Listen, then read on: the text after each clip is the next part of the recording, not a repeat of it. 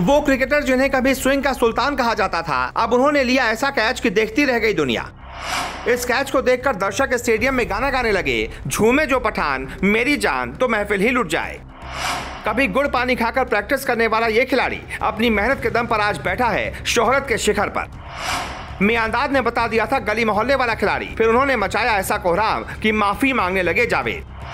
इन दिनों legends cricket league के ज़रिए क्रिकेट फैंस संन्यास ले चुके दिग्गज क्रिकेटरों को फिर से मैदान में धमाका करते हुए देख रहे हैं। पूर्व खिलाड़ी एक बार फिर से क्रिकेट के मैदान पर अपना जलवा दिखा रहे हैं। लीजेंड्स क्रिकेट लीग में इंडिया महाराजा की ओर से गौतम गंभीर, इरफान पठान, यूसुफ पठान, रॉबिन उथप्पा जैसे खिलाड़ी फिर से अपना कमाल दिखाते हुए दिख रहे हैं। सभी पूर्व दिग्गज अपनी परफॉर्मेंस से फैंस का दिल भी जीत रहे हैं। वही वर्ल्ड जैंट्स के खिलाफ मैच के दौरान इरफान पठान ने अपनी ज़बरदस्त फील्डिंग का नज़ारा पेश करते हुए तिलक रत्न दिलशान का कैच पॉइंट पर लिया। दरअसल टूर्नामेंट के चौथे मैच में जब एशिया लॉयंस की टीम को इंडिया महाराजाज ने 10 विकेट से हराया था। तो उस मैच में इरफान ने तिलक रत्न दिलशान का पॉइंट पर एक कमाल का कैच लिया था। हुआ यह था कि स्टुअर्ट बिन्नी की गेंद पर दिलशान ने ऑफ़ साइड में हवाई शॉट मारा, जो पॉइंट पर गया। शॉट काफ़ी तेज था, लेकिन इरफान ने मुश्किल कैच को बड़ी आसानी से लेकर विश्व क्रिकेट को हैरान कर दिया। कमेंटेटर भी इरफान के कैच को देखकर चौंक गए और कमेंट्री करते हुए चिल्लाते हुए नज़र आए। वीडियो में देखेंगे कि कैच लेने के बाद इरफान बड़े आराम से इसका जश्न कैसे मनाते हैं। मानो ऐसा कह रहे हो कि ये तो मेरे लिए बाएँ हाथ का खेल है। इरफान कैच लेने के बाद फ़ेमस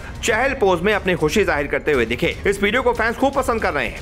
आपको बता दें, भारतीय क्रिकेट फैंस के बीच इरफान पठान का ज़बरदस्त क्रेज है। इरफान जब भारतीय टीम के लिए खेलते थे, तब उनके स्विंग गेंदबाजी की पूरी दुनिया दीवानी थी। बाएँ हाथ के तेज गेंदबाज ने अपनी स्विंग गेंदबाजी से विरोधियों को खूब छकाया। इनका खेल देखकर क्रिकेट जगत इन्हें भारतीय टीम का दूसरा कपिल देव कहने लगे थे। लेकिन इरफान को यह सब कुछ यूँ ही हासिल नहीं हुआ था। इरफान का शुरुआती जीवन बड़ा मुफलिसी में गुजरा था। वो कहते हैं ना, अगर आप शिद्दत से किसी चीज़ को पाने की हसरत रखते हैं तो खुदा भी आपकी मेहनत को बेकार नहीं जाने देता। कुछ ऐसा ही हुआ था इरफान पठान के साथ। उनके क्रिकेटर बनने की जिद के आगे सभी मुश्किलों ने घुटने टेक दिए।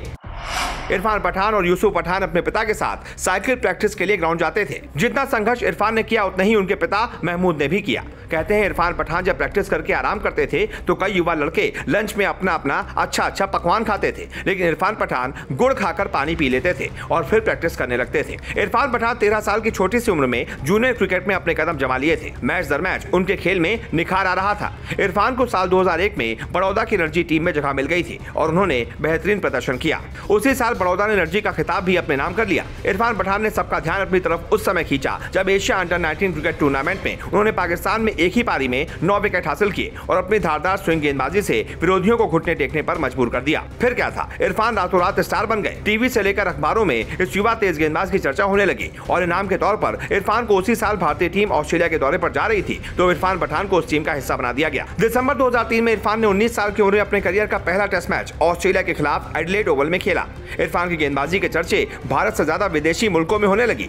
इसी बीच पाकिस्तान के पूर्व खिलाड़ी जावेद मियांदाद ने इरफान को गली मोहल्ले वाला गेंदबाज बता डाला। फिर क्या था? 2004 के भारतीय टीम के पाकिस्तान दौरे पर उन्होंने पाकिस्तान की ही पिछों पर तहलका मचा दिया। इरफान ने सबसे ज़्यादा बारह विकेट लिए और सबसे ज़्यादा मेडन ओवर डाले। इरफान के दम पर भारत ने पाकिस्तान में दो दशकों के बाद सीरीज़ जीती थी और उनका प्रदर्शन देखकर जावेद मियांदाद अपने बयान पर पछतावा करने लगे। वर्तमान समय में क्रिकेट कमेंट्री की भूमिका निभाने वाले इरफान पठान ने अपने क्रिकेट करियर में 2003 से 2012 तक अंतर्राष्ट्रीय क्रिकेट में उनतीस टेस्ट मैच खेले, जिसमें उन्होंने 1305 रन बनाए और 100 विकेट भी हासिल किए। इरफान ने वनडे मैचों में 120 मैचों में 1544 रन और एक सौ तिहत्तर विकेट लिए हैं। वहीं टी के 24 मुकाबलों में एक सौ बहत्तर रन बनाए हैं, साथ ही 28 विकेट लिए हैं।